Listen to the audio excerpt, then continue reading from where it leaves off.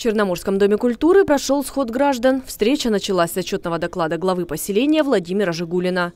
Выполнены работы по отсыпке, грейдированию и ямочному ремонту дорог, расчистке ливневых ериков. Регулярно проводят субботники. После отчета жители задали вопросы, которых накопилось очень много.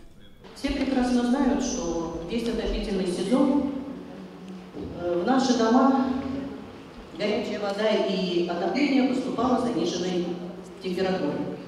Второй вопрос, когда возобновится подача горячей воды в дома жителей поселения. Сейчас уже размещены на торги две э, котельные.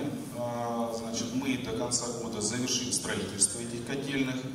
Э, скорее всего, войдут они в работу уже в январе-феврале.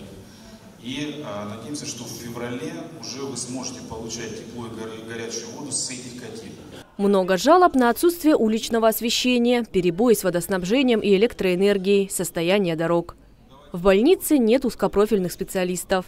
Жители хутора Карский говорят о том, что их проблемы в администрации игнорируют.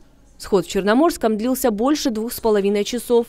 И все это время люди перечисляли проблемные вопросы – по словам жителей, глава администрации не принимает участие в жизни поселения. Наш глава. Вот к нему обратились, он выслушал молча. Все, он и забыл. Обидно, когда вот такой человек стоит у руля в нашем поселении. Что дальше можно ожидать? Глава района отметил, что без взаимодействия жителей, местных депутатов, администрации поселения и района большинство проблем не решить. Вот, Владимир Ильич, я хочу, чтобы вы услышали своих, своих избирателей, депутатов, депутатский корпус, прислушались к ним и начали совместно с ними э, выполнять большую, кропотливую, трудоем, трудоемкую работу. Я вам об этом говорил еще э, в феврале месяце. Найдите диалог с жителями, найдите диалог с депутатами, найдите диалог с районной властью. Мы готовы, мы открыты на значит, конструктивный диалог. Но почему-то вы игнорируете, вы не слышите.